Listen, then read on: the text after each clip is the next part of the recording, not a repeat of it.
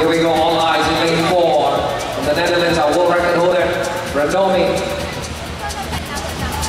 In the pack of nine fastest ladies among all our qualifiers in these heats. Here they come.